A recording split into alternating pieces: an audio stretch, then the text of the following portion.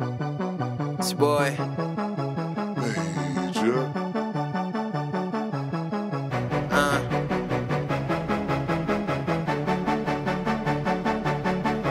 I'm feeling overconfident, spending all my common sense, knowing right from wrong, but yet I still remain the opposite. Don't give in to the money, never buy into that crock of shit. Got MC sleeping on me, and quite frankly, I'm just tired of it. Flow similar to Drizzy, I don't even care, but know that I'm headed for the top. I hope to see you there. It's becoming naturally to me, just like I'm breathing air. Why not take a picture while you're at it? You don't need to stare. And I know I talk a lot of shit, I'm not speaking too much. For my fans that feeling me,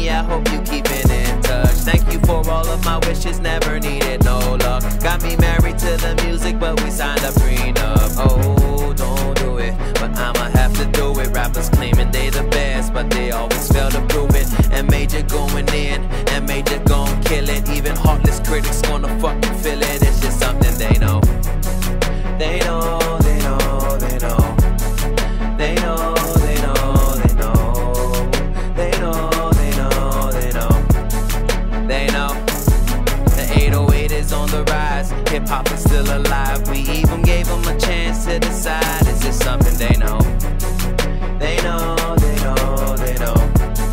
Yeah, I be yelling out family over everything. Music on my mind. And then they go and ask me, what about the money? I tell them I don't worry, I've been working overtime. And this a closed case, only God can judge me. Never an objection overruled. And I'm about to take them all to school.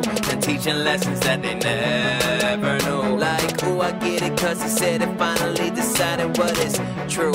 And listen to me stating my opinions. A superhero here to smash and thrash up on you villains. Need I explain, man, that shit's supposed to be a given. I ain't gonna stop until I feel that I fulfill my mission. And I ain't playing cause I got it like this. Piss me off and watch my deuces change into a on target, got precision, no, I don't even miss. And for those of you that know it,